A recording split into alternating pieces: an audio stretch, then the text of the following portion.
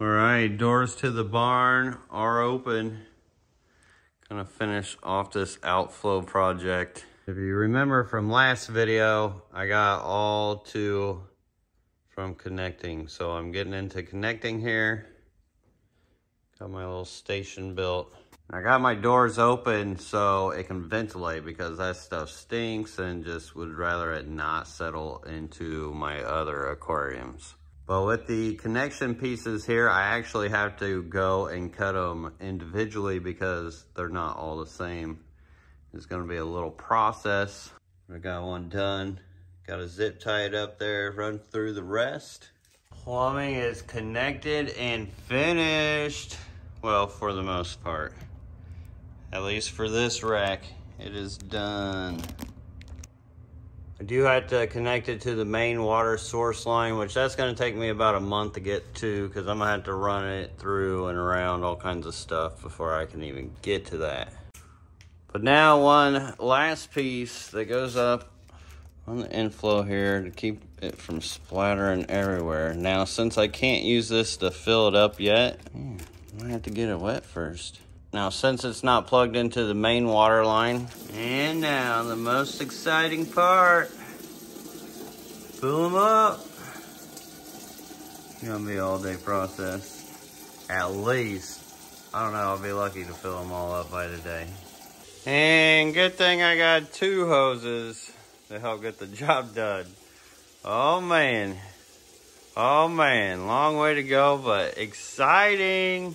Whoop, whoop. And you can see why the water change system is needing. Just even topping these off and filling them up and having to do it with two hoses. When the water system is actually hooked up, I'll be able to just a whole bunch of them, turn them on and fill up at the same time.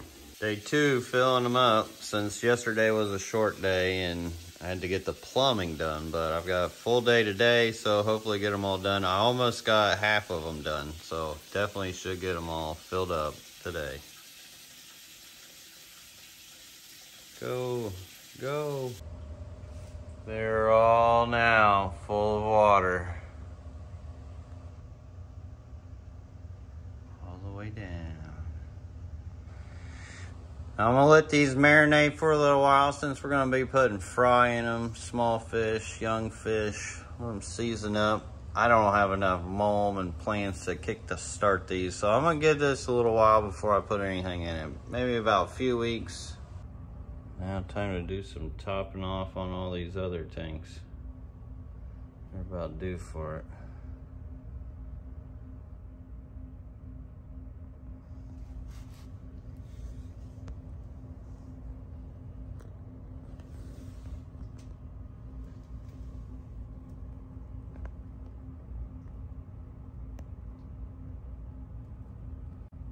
green endlers.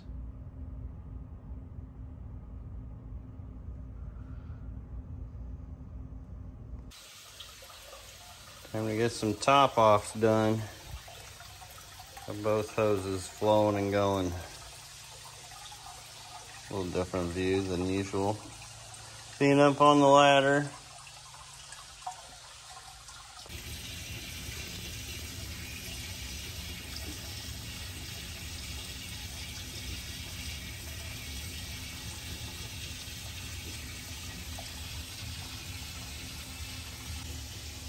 Here's a CPD breeding basket. You kind of see them swimming around in there.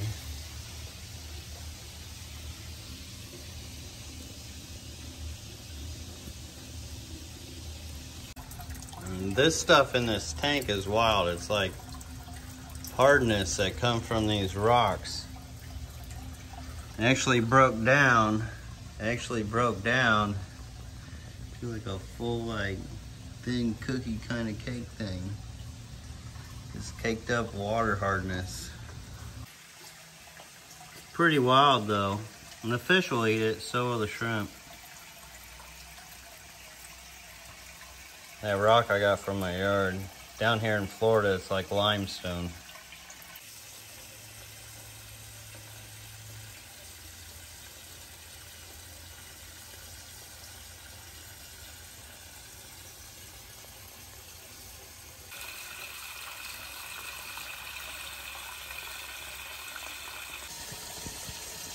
So many baby self-enshriners.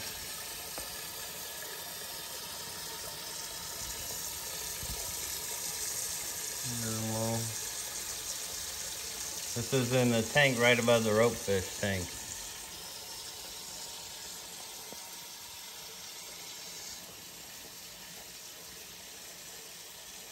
That tank. I can't wait to get to focus in on shrimp more.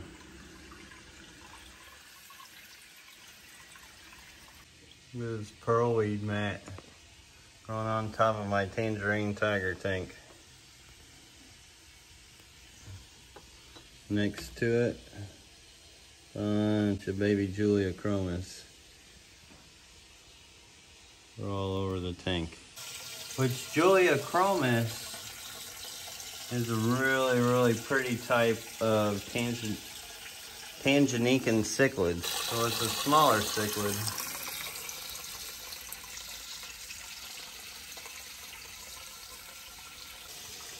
Those fancy red tigers I got. Still alive. Barely see them through this tank though, the glare, ugh. There we go. Salmon.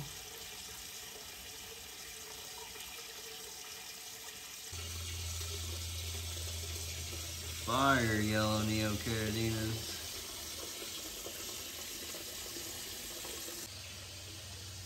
Fire, fire. Like they look good from a distance, but you know, the males aren't as colorful. The females, they pop. Definitely still makes it pop.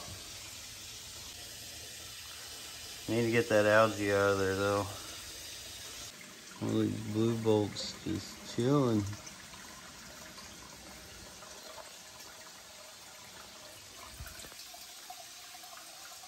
And their tank's like completely black water.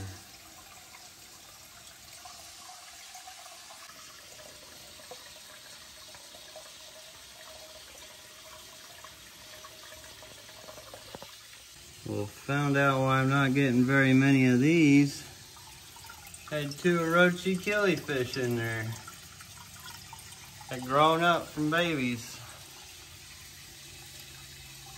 I thought I saw some young in here, but but they become snacks. These guppies just keep unloading babies. You got a lot of babies of these yellow rice fish. Matanensis rare rice fish, bigger rice fish. Should have some of those available on the website soon. I need to focus on breeding these guys soon, the cardinal tetras. I'm literally running back and forth on these hoses.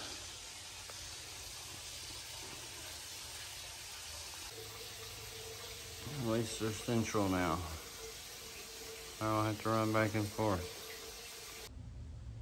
Ah, that's done. It just feels so much better in here when everything's topped up. Besides those three.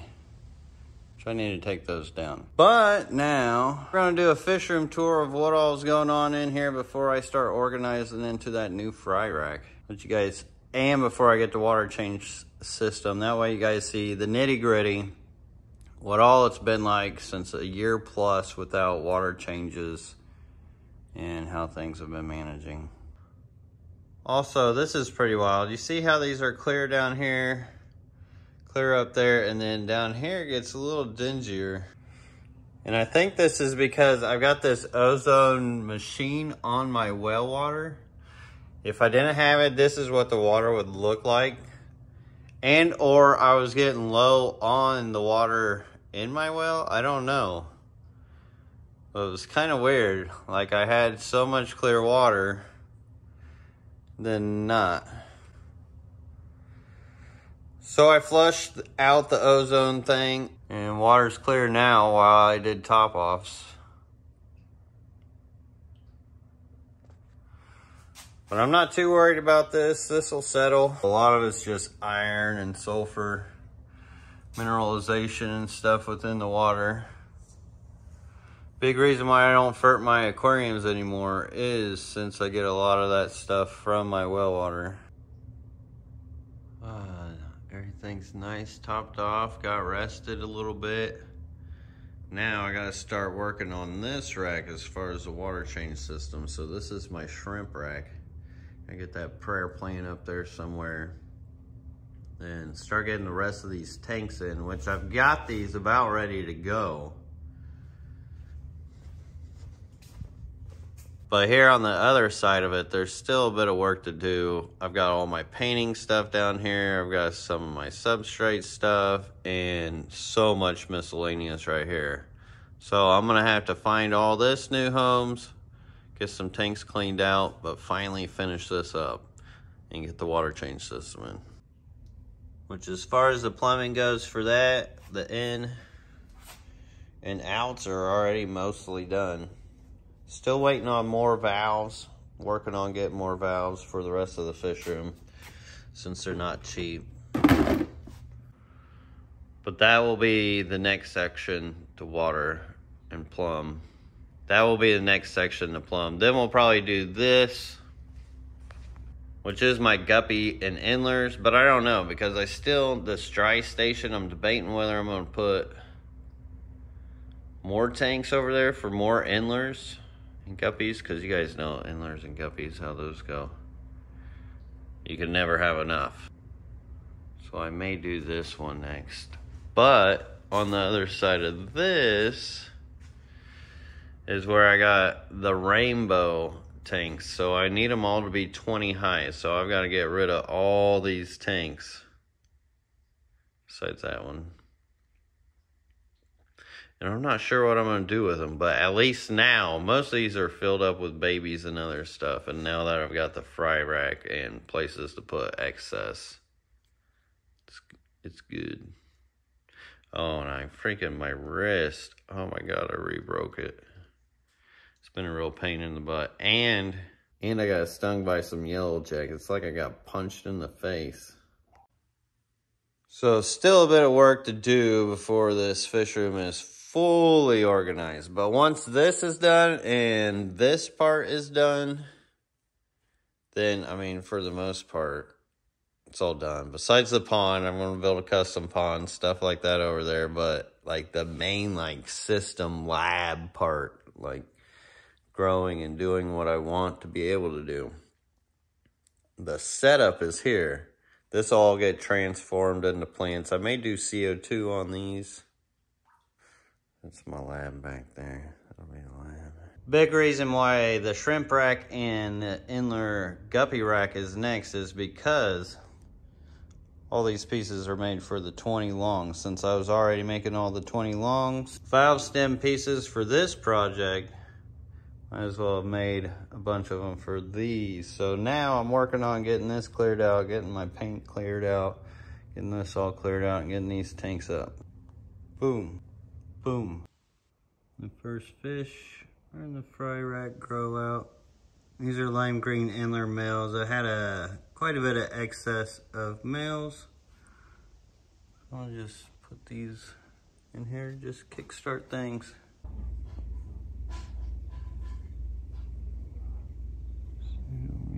root tube breeding. Now, if I didn't have fuzzy zoom in footage. Tried to film this while I was up there, they'd all run away.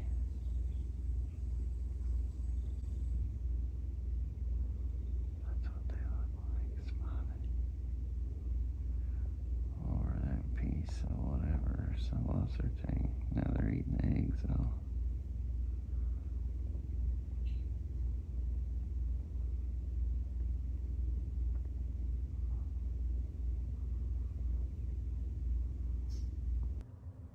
Boom. Pow. Back to the sand business. Sandman. I almost got done with it. What the heck?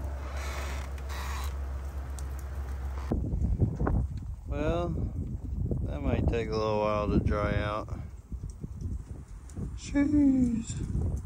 Thanks for watching. If you want to support us, hit the subscribe button, hit the like button, or check out our website, lrbaquatics.com. Take care. See you on the next one.